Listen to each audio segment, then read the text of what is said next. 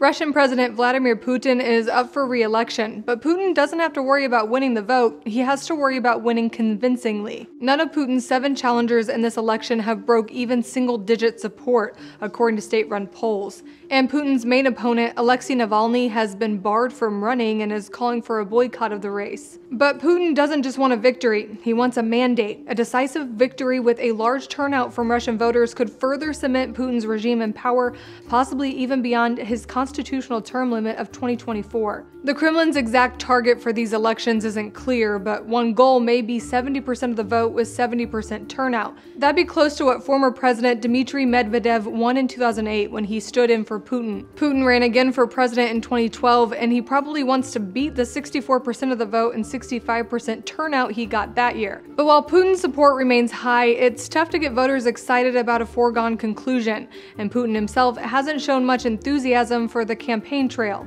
Russia's recent economic woes might further dampen voters' spirits. Disposable income rates have languished after a meteoric rise in the early 2000s, and a recent poll by the country's central bank found almost half of Russians aren't expecting a boost to their financial situation in the next year. Of course, nothing's stopping Putin from rigging the polls in his favor, but allegations of vote tampering prompted massive anti government demonstrations across Russia in 2011 and beyond, something the Kremlin is probably eager to avoid this time around.